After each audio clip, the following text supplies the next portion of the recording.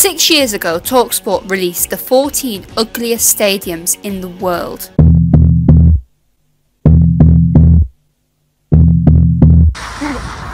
Four of their top seven were English football stadiums. I really, really like this ground. So I decided to go on a journey and visit those four stadiums. I think it's just lovely in a British way. It's charming, but a little bit gross. To go and find out for myself if these stadiums really were ugly. Is that a fridge?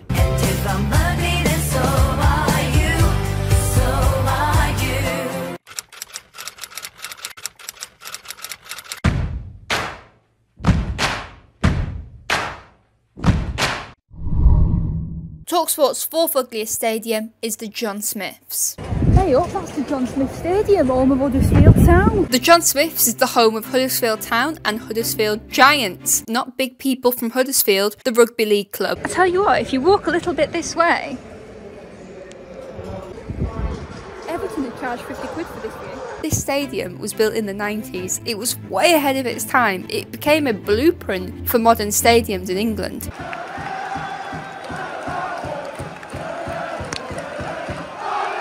Talksport described the stadium as having a weird design that does it no favours. Hmm.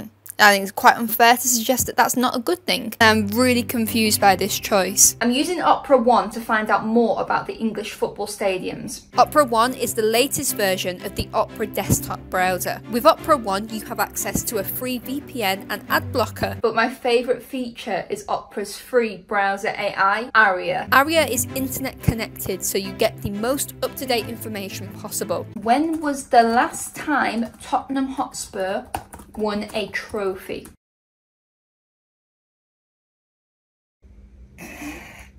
That was a really long time ago. yes, indeed. Cheers, Aria. We do we do have some banter, don't we?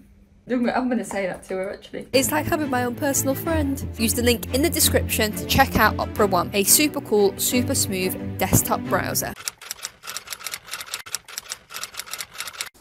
Oops, sorry. I just nearly got caught by a fisherman. I'm not a fish.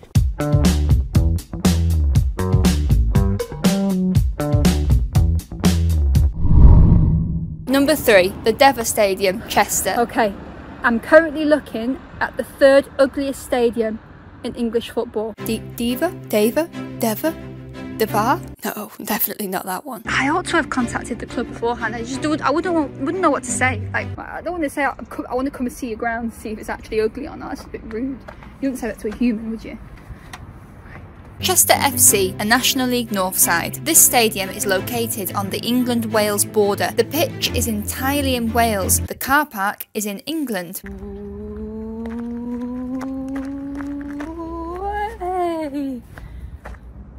I have officially crossed the border from England into Wales.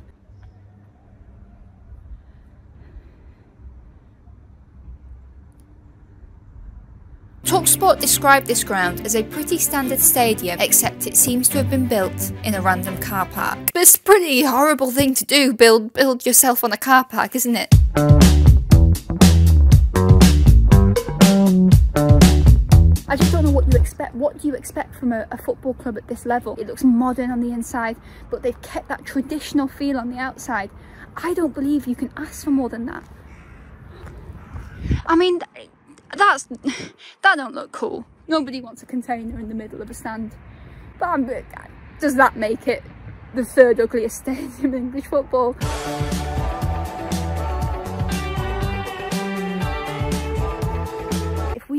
Scandinavia, for example, and this was freshly painted, we would see a quirkiness to this because of the architecture.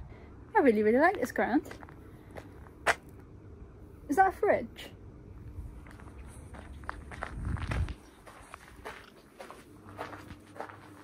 It's a collection of fridges.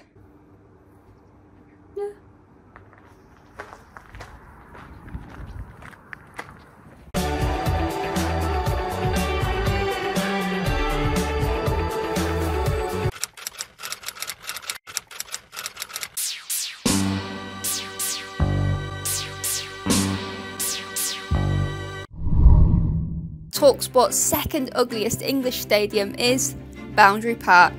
Oldham. If you did live in one of those houses, Mum, would you, would you, if, if there was like a residence discount for a season ticket, and you could get a season ticket for like 60 quid for the season, would you just do it? No. Boundary Park is the coldest stadium in England. Oldham Athletic are a 5th division club that average just under 7,000 fans. Incredible. I've found a way to look inside. That pitch there, I know I can only see a little bit of it, that's in immaculate condition. I know a stadium's attractiveness is not all about the pitch, but it's a significant part. It's, it's looking really beautiful. If I, if I was someone who wanted to walk like this, I can't, I can't watch Oldham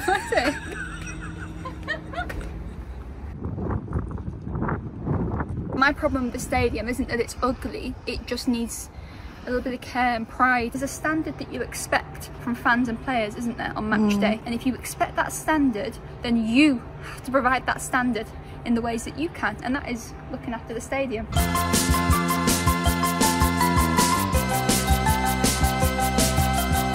See, I think Talksport would say that's ugly, but that's what I think looks No, really that's- charming. That's what I, when I said rustic, that's what I meant. Oldham's been sort of in and out of being a bit of a mess the last few years, but it looks like they're in a good place at the moment. And I'm sure they wouldn't trade places with Bury. But just because it's not as bad as your neighbours doesn't mean that you can't be a bit frustrated.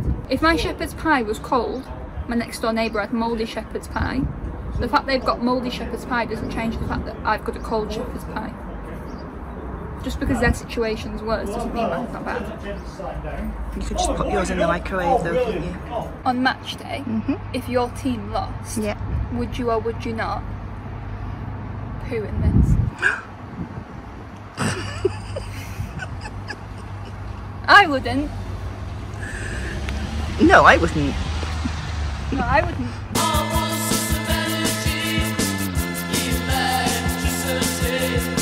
Really mean of Talksport to label this ground as the second ugliest in the country. It's traditional, it's charming.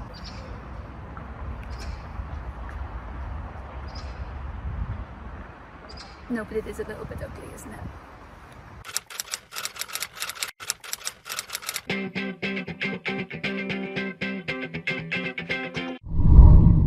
And number one, Blundell Park, Grimsby Town. Hmm.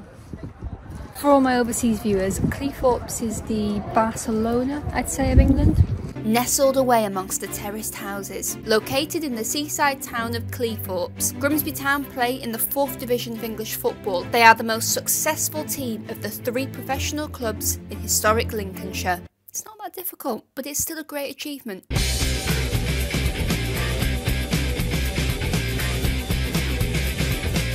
Feel like I've stepped into a 70s football culture museum.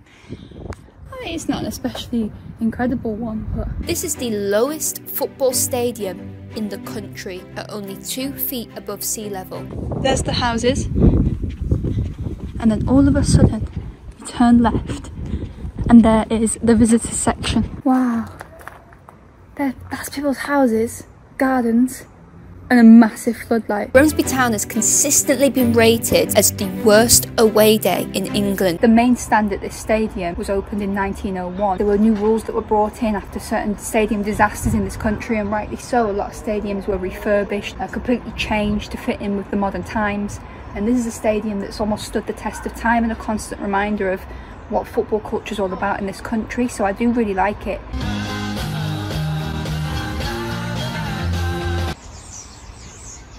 It looks quite new from the inside. That right there is the turnstile entrance to the pontoon stand, and just a few steps that way is the entrance to somebody's back garden. As traditional and charming as the terraces are, it would prevent Grimsby from ever being able to expand the stadium. I think they would have to move if they were to ever get promoted and promoted and promoted. The last thing that you would want would be for these terraces to be demolished and the people of the area to be punished as a consequence of improving the stadium. The people always come first in an area.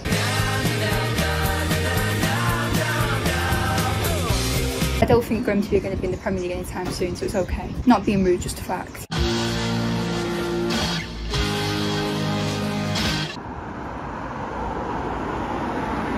Looks like Simon Cowell.